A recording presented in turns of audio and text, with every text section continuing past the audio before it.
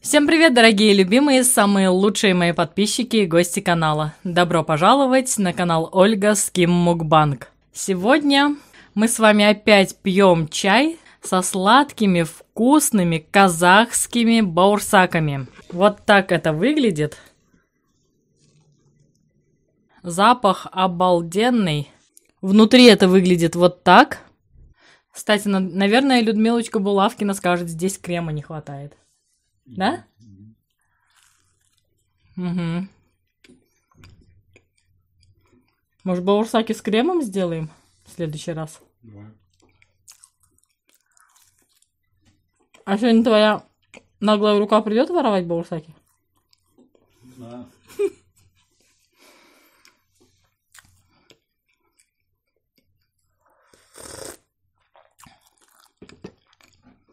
Баурсаки мягкие, воздушные,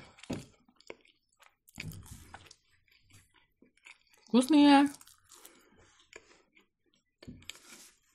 Но мне кажется, что их надо есть с чем-нибудь. С чем?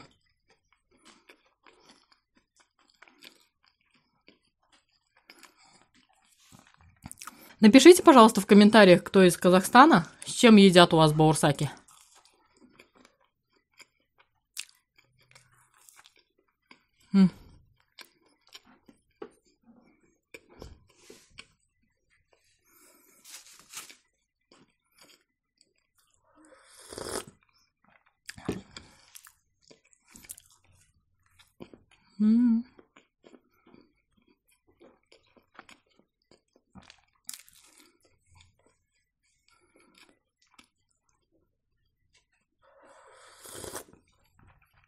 Я последний раз баурсаки, наверное, в Ташкенте ела.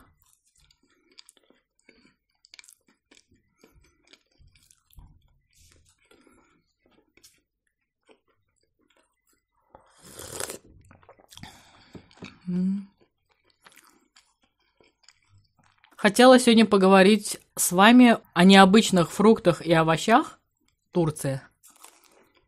М. Точно здесь такие дырочки в каждом баурсаке. Прям напрашивается сюда крем какой-нибудь. Да.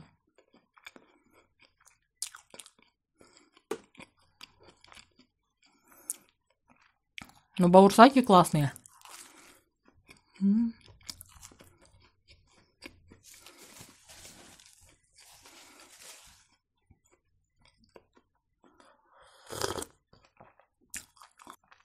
Мы когда были в Турции, на рынке там чего только не продают. М. Такое прям изобилие всего.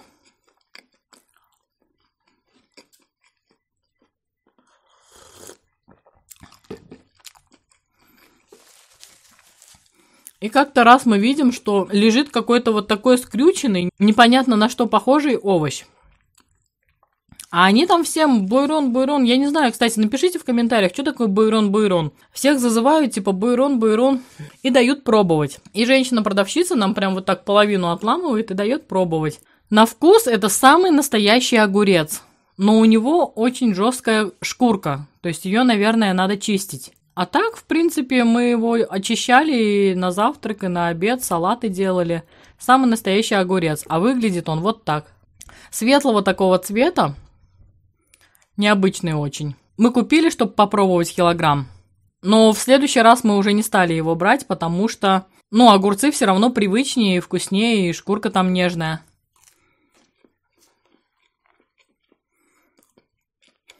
Кстати, не у всех баурсаков такая прям дырочка внутри.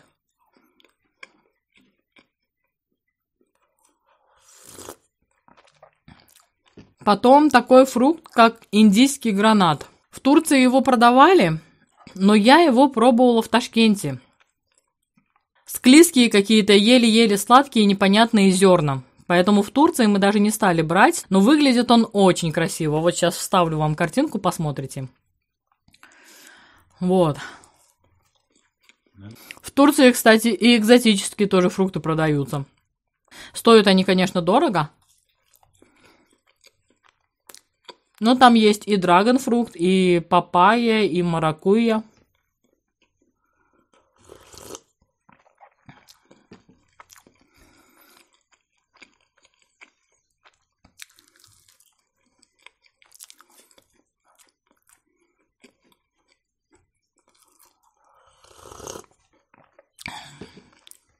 Апельсины в Турции выглядят не очень красиво, потому что они вот в какую-то крапушку. Кстати, непонятно вообще, почему так. Но вот Алексей говорит, что они падают на землю, поэтому пачкаются так, что их такой прям грубой щеткой, которая для обуви такие щетки бывают, чистят продавцы. Вот. Но если вы хоть раз попробуете турецкие апельсины, вы в них просто влюбитесь. Это такая вкуснятина. С них получается очень-очень невероятно вкусный сок. У хозяйки на кухне мы нашли такую э, соковыжималку. Очень показалась нам удобная для цитрусовых именно. Такая пика торчит, и вся она такая с зазубринками. Туда половину апельсина вот так вставляешь, и вот так прокручиваешь, он прям все до единой капельки выжимает с апельсина. Мы там этого апельсинового сока опились вот так – ну, в основном дети, конечно. Мы старались, чтобы дети прям много пили его. Вот. И мне очень понравилась эта соковыжималка. Мы ее специально бегали по магазинам, искали, нашли. В Хасбуле, по-моему, нашли. Купили, привезли в Москву. И вы думаете, в Москве мы ею часто пользуемся? Может, один разочек. Ну, потому что здесь совершенно другие апельсины. Они кислые, Добавлять в них сахар не вижу смысла. Все равно нет такого прям яркого апельсинового вкуса. А в Турции они прям выжимаешь оранжевый такой прям между апельсиновым соком, который получается из московских апельсинов, и морковным соком. Вот цвет вот такой получается. Очень шикарные апельсины, нам понравились.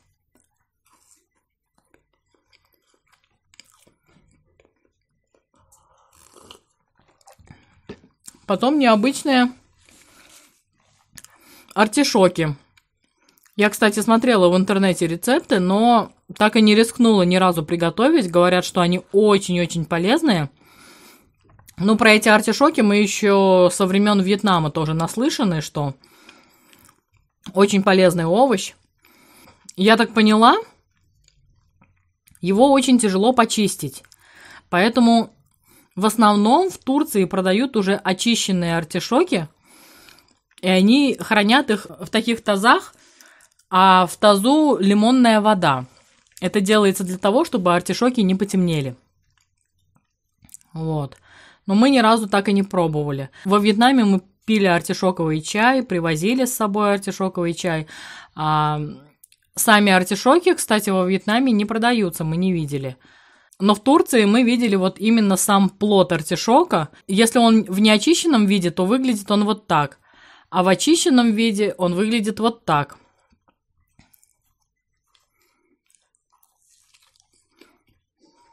И по-турецки называется он энгинар.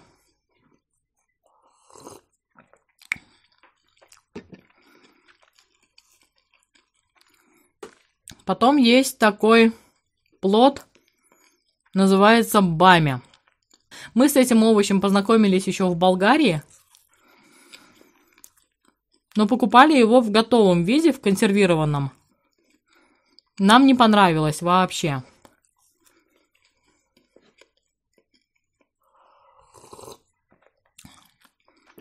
А в Турции в основном его в свежем виде продают. Как-то турки его тоже умеют готовить, но мы не пробовали, не знаем.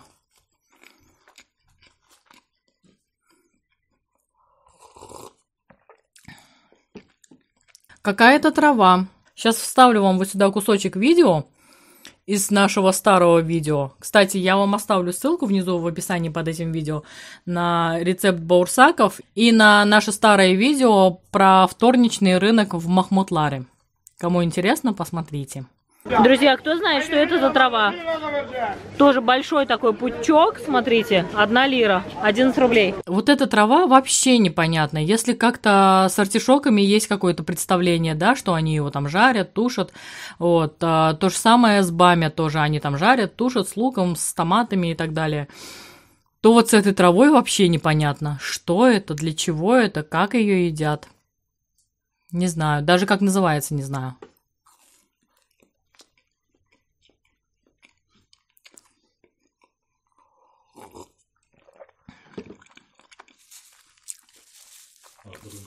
Да, Алексей подсказывает, еще у них огромные прилавки с зеленью. Если у нас там маленький прилавочек и немножко зелени, и в больших там супермаркетах тоже, да, какой-то небольшой отдел выделен под зелень, то на турецком рынке вот просто прилавок порой даже больше, чем с фруктами и овощами прилавок. И там какой только зелени нет, а в каком количестве, я так поняла, турки очень любят зелень. Пучки петрушки там вот такие – вот такие. Мы в таком количестве зелень не кушаем. Хотя, конечно, это полезно, и ее бы надо бы кушать. Вот такой пучок петрушки. Куда его использовать? Я вообще не понимала. На рынок-то мы ходили во вторник и в субботу. Два раза в неделю, там, где мы жили, в Махмутларе, проходит рынок.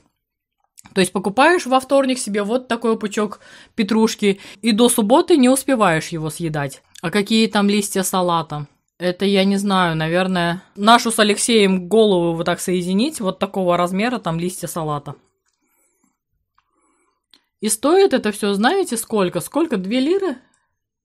Салат, посмотрите, какой шикарный. Две лиры. 22 рубля на наши деньги. Я даже не могу, не могу в камеру показать, в кадр это не входит даже.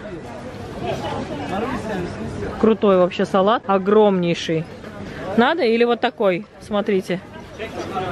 Буямы киллера? И киллера, тоже 2 лиры. Вот такой пакетище салата, 2 лиры. На наши деньги копейки. Мы, если в России покупаем, то вот такусенький корень э, у листьев салатов и вот такусенький пучок стоит где-то 60 рублей, 59,90. Вот они специально вот так. Вот такусенький пучок. То есть, где основание совсем вот столько. И вот 59,90. А там, прям я говорю, моя и Алексея голова. Вот такой пучок. И стоит он не больше 30 рублей на наши деньги. Но мы с Алексеем очень любим кинзу. Вот кинза там дорогая. И пучки поскромнее. И ценник не меньше 5 лир. 5 лир на российские деньги на тот период, когда мы там отдыхали, было 55 рублей. И то кинзу не всегда можно найти. Большие пучки укропа, большие пучки петрушки, мяты. Турки очень любят мяту, мы-то ее в основном не едим в таких каких-то горячих блюдах, да, мы с ней завариваем чай. Но когда ты с рынка принес вот такой пучок мяты, там целый получается прям веник, мы просто не успевали пить чай с этой мятой. Мы пили чай, потом я понимаю, что мята портится, мы ее начали сушить. В общем, мяту там тоже продают огромными пучками. Напишите, пожалуйста, нам в комментариях, куда еще можно свежую мяту использовать. Я научилась готовить турецкий суп мерджимек чорбасы, кстати, ссылку вам тоже оставлю. Туда использовали мяту, а где еще ее можно применить, я что-то даже затрудняюсь придумать. Один раз мы начитались, что в Газипаше, а это не, не очень далеко от того места, где мы жили, есть какие-то пещеры. И мы туда поехали, значит, в поисках этих пещер. Пещеру мы нашли, но там был засыпан вход, поэтому попасть мы туда не смогли. Но пока ехали, нам встретились еще какие-то развалины. Мы же любопытные, мы же приехали сюда ради того, чтобы там поснимать что-нибудь, пофотографироваться. Конечно же, мы остановили машину и пошли. Пошли к этим развалинам, значит. И тут такое поле, а сбоку от этого поля такая посадка непонятная, кто-то там какие-то деревья, какие-то чего-то там. И никого нет. Спереди, значит, эти развалины какие-то старинные, поле и посадка. И, конечно же, нас занесло в эту посадку. Дети у нас остались около машины, а мы с Алексеем пошли туда. И нашли там множество инжировых деревьев. А инжир в Турции достаточно дорогой. В начале сезона лоточек где-то на 700 грамм стоил 165 рублей, а к концу сезона за килограмм 165 рублей стоил инжир.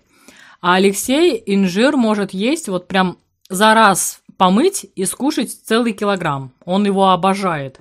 Я к нему как-то спокойно отношусь, а Алексей может прям целый килограмм съесть за раз. Прогулявшись между этими деревьями, мы встретили апельсиновое дерево, на котором висело три вот таких оранжевых апельсина. И главное, никого нет, вообще никого. Ни около руин никого нет. Подходи, заходи, смотри, фотографируйся, что хочешь, что и делай. Поле абсолютно пустое, нигде никого нет. Мы давай с Алексеем сшибать эти мандарины.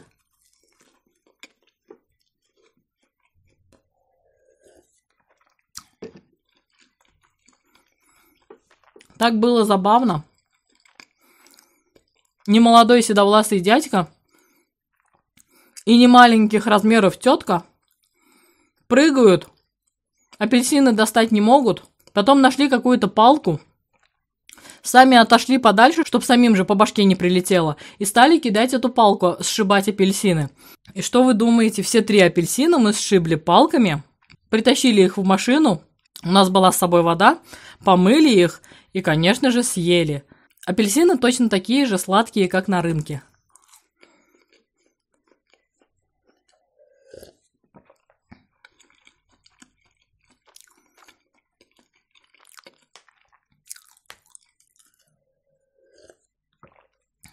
А еще на турецком рынке на каждом углу продают гюзлеме. Прям стоят такие турецкие печки специально для приготовления гюзлеме. И тетеньки-турчанки прям на месте тут раскатывают тесто, а, у них там в контейнерах начинка, значит, ты выбираешь себе начинку, они тебе эту начинку складывают и закидывают на эту печку, жарят сразу при тебе и с пылу с жару прям с печки тебе отдают. Гюзлеме, кстати, у меня тоже есть на канале, ссылку я вам оставлю. Когда были в Турции, настолько нам нравились эти гюзлеме, что я научилась готовить их сама.